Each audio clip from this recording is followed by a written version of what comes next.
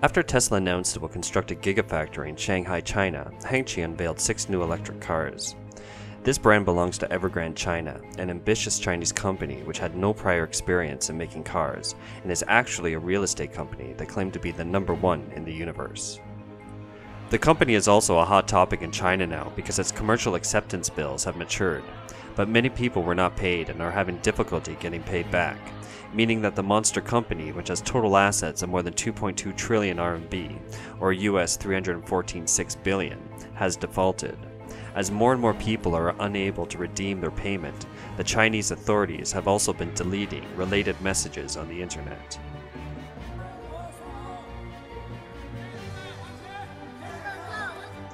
It is important to know that until 2019, Microsoft's total assets was only 287 billion USD, Apple's total assets were 338 billion USD.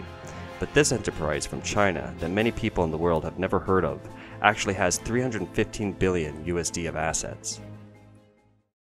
According to Evergrande's 2019 annual report, disclosed on April 28th, Evergrande now has more than 900 companies in China, ranging from property groups, health groups, travel groups, new energy vehicles, and soccer clubs. While a company's total assets equal total equity and liabilities, Evergrande's liabilities were US 264 billion, which means a debt ratio of nearly 84%, surpassing Volkswagen, the number one overseas debtor. In addition, these assets also include a large amount of inventory, that is, the real estate or merchandise that has not been sold. Until June 2019, Evergrande's inventory size was 170 billion and continued to increase until now. In other words, most of Evergrande's assets are actually its inventory and liabilities. Whether in China or overseas, only banks or companies with very high credit ratings can issue commercial acceptance bills instead of cash. Although Evergrande is heavily indebted, it is one of the few companies in China that can issue commercial acceptance bills. It allows the company to tap into the capital upstream suppliers, which is the equivalent of an interest free loan.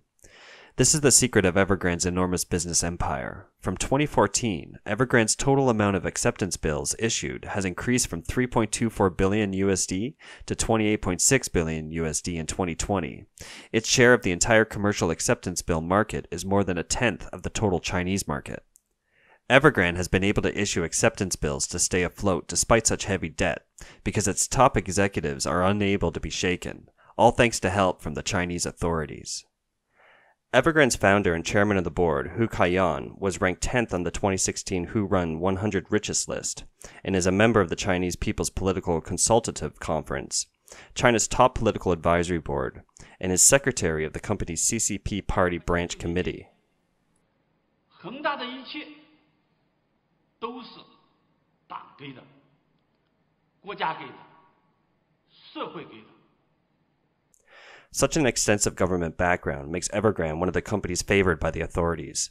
These enterprises are ostensibly private enterprises, but in reality, they are managed by people with a Chinese Communist Party background and operate according to the party's political direction, often winning unfairly in business competition, beating other small private enterprises, and concentrating the public's wealth into the center of the Chinese Communist Party.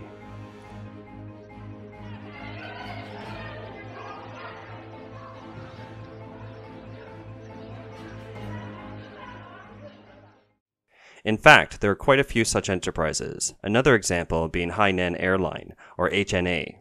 At its peak, HNA had assets of US 229 billion and debts of over US 107 billion. In order to fill the debt, HNA began in 2010 to try to raise funds from employees, providing 13% of the trust products held by the union. The investment threshold was also very low. Many of the employees have put their money in, but so far have not recovered the funds.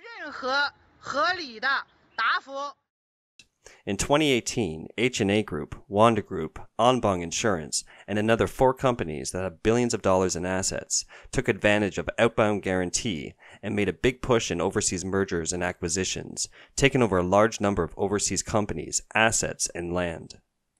For instance, Wanda Group has entered Hollywood, acquiring AMC Cinemas and Legendary Entertainment, funding many movies and bringing Chinese ideology and merchandising to Hollywood.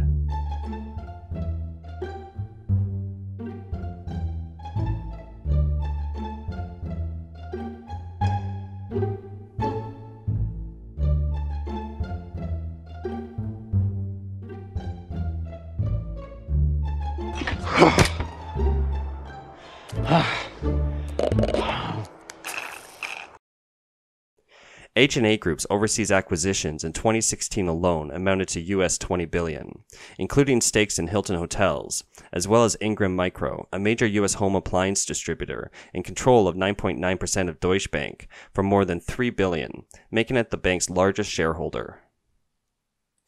Fosun's acquisitions have been wide ranging, including real estate, finance, pharmaceuticals, steel, entertainment, as well as the purchase of Germany's Hauck and Aufhäuser Bank and Canada's Cirque du Soleil. While Anbang's overseas acquisitions from 2015 to 2017 exceeded US 30 billion. Chinese companies' overseas acquisitions peaked in 2016. According to auditing firm PwC, Chinese companies invested as much as US 221 billion overseas in 2016, a huge 246% increase from the previous year. Since these companies had limited credibility overseas, they rely heavily on Chinese banks for financing. In late 2018, several banks in mainland China stopped financing these companies due to excessive debts and high risks, causing a liquidity crisis, and they were forced to sell some of their assets to repay their debts. In addition, these companies have also been involved in a number of illegal acquisitions overseas. In March 2015, Australia's Treasurer signed an order ordering the company of Hui Ka Yan, chairman of the Evergrande Real Estate Group, to sell the Villa de Mar, a seaside luxury property purchased in 2014 by Golden Fast Foods, a subsidiary of the Hong Kong listed Evergrande Real Estate within 90 days. It was bought illegally through a series of shell companies registered in Australia, Hong Kong, China, and the British Virgin Islands. Castor Pang, the director of research at Core Pacific Yamaichi HK, a Hong Kong based financial investment firm, told Bloomberg in 2017 that the most important factor in doing business in China is a company's political stance. It is very important for companies to be on the right side. If normal market rules were in place, such aggressively indebted companies would have gone bankrupt and restructured a long time ago.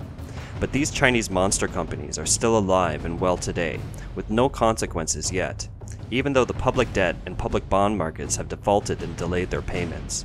This is also due to China's different market system, one that is not compatible with the free market.